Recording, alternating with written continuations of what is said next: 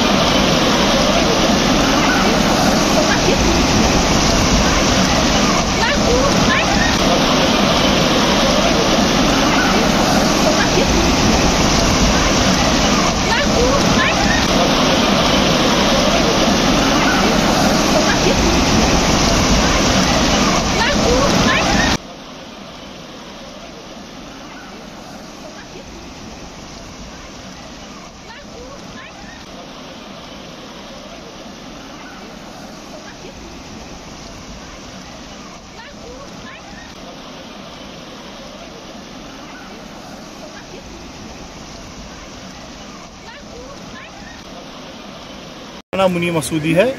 जी हम कुछ डाउनटाउन से लड़के हुआ आए हुए थे एंजॉयमेंट के लिए यहाँ गुलमर्ग शांस फॉल में। बट जब हमने यहाँ पे घूमने के दे, देखा वाटरफॉल चेक किया सराउंडिंग्स बहुत पब्लिक आई हुई थी घूमने के एंजॉयमेंट के ही घर से।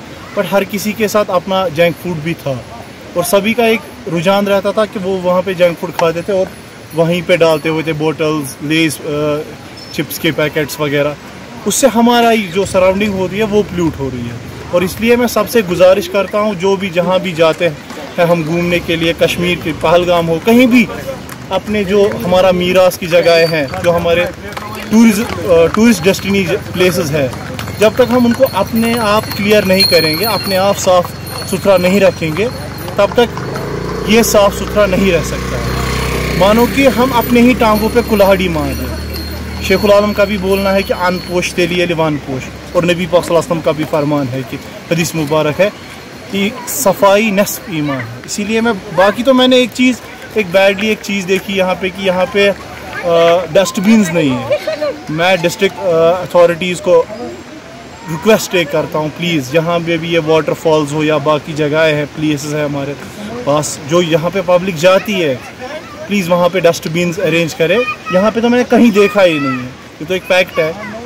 बस अगर टूरिज़्म इस पर थोड़ा बहुत एक्शन ले ले और जो भी टूरिस्ट आए होंगे या बाकी लोकल्स भी घूमते हैं उनको एक थोड़ी बहुत अवेयरनेस भी करे कि यह जंक फ़ूड कवर्स या बोटल्स नहीं डाले जाए वो अच्छा रहे। तो हमारे रिसोर्स खुद बचेंगे इंशाल्लाह उम्मीद है इस वीडियो बनाने का खाली इतना गर्ज है ना कोई पब्लिसिटी है ना कुछ है।